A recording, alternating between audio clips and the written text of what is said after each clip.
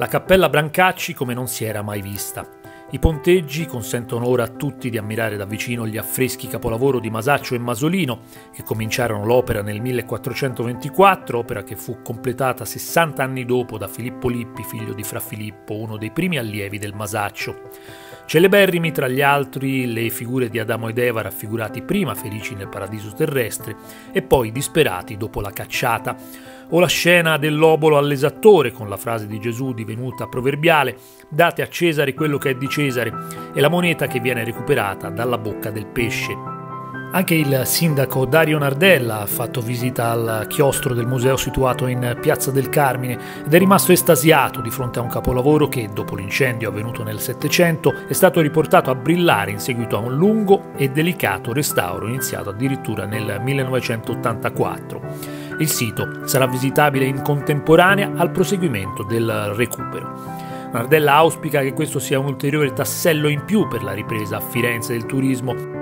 un turismo spinto dalla cultura a rappresentare un'inversione di tendenza dai giorni della pandemia fino ad oggi. Grazie a questo progetto credo che Firenze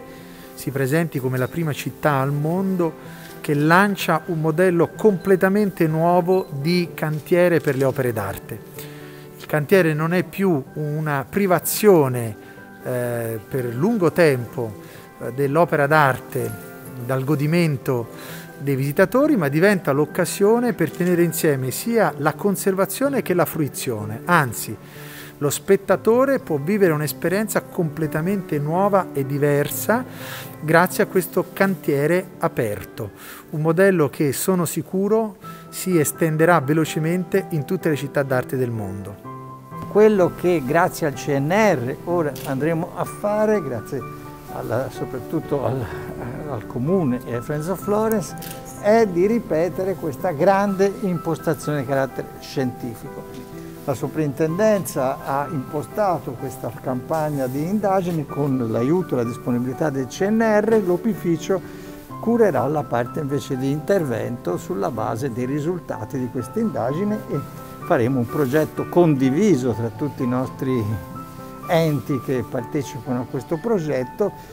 per consentire come sempre all'opera di proseguire la propria vita nel tempo.